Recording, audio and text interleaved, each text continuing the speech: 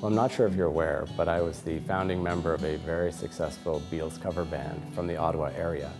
We traveled around and we did, you know, uh, block parties and music festivals and Frosh Week, and we did it all. If I could have dinner with every, anybody, it would definitely be uh, one of the Beatles, and probably be Paul McCartney. I've always felt like his uh, musical style aligned best with mine, um, so it'd be great to have dinner with him and learn more about his creative process. My name is Sebastian Goodfellow, and I'm an assistant professor in the Department of Civil and Mineral Engineering, the Faculty of Applied Science and Engineering at the University of Toronto. We're in the Myhal Center, and we're in a classroom that has a lot of technology that's used to enhance the learning experience for students. And the Myhal Center is actually where I teach an Introduction to Computer Programming course for our first year engineers. So as a professor, I have three jobs. Um, I have to do research, I have to teach, and I have to provide a service to my department.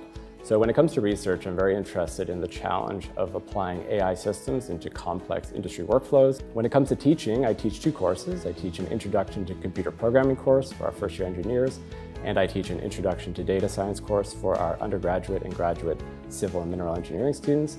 And when it comes to service, I'm very passionate about supporting our professional development programs uh, to support the upskill needs of civil and mineral engineers uh, in those sectors.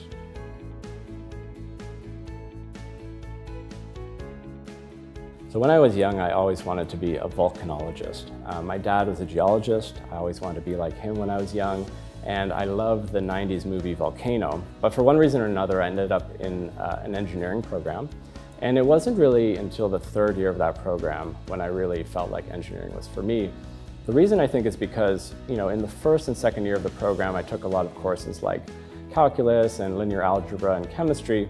And at the time, I failed to see the connection between what I wanted to be doing and, and these courses, you know. So once I got into like the upper year design courses and I was, uh, you know, creating things and I was designing and building and working with my hands, and that's really when it clicked for me. And so for this reason, when I'm teaching our, our first year students, I really try to continually develop these connections between what we're learning in class and the field of engineering, both in terms of uh, the upper year courses uh, in the program and beyond uh, in their careers as engineers.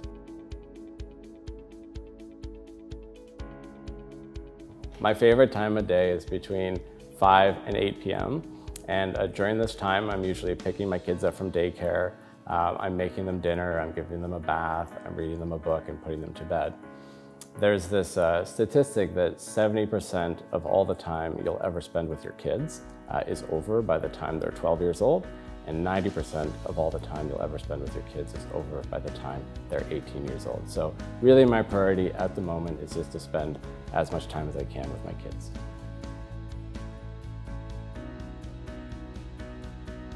What I love most about the U of T engineering community um, is certainly the students. You know, they're just starting out in their careers. They've got big ideas and big plans and big goals, and it's hard not to get kind of motivated by that kind of energy. You know, a lot of the biggest discoveries and the biggest companies uh, came from people in their 20s. Think about Dirac and Heisenberg or Dell and Zuckerberg. And so, you know, it's hard uh, not to admire that kind of zeal and uh, it's hard not to let it inspire you as well to continue to push yourself and do interesting work.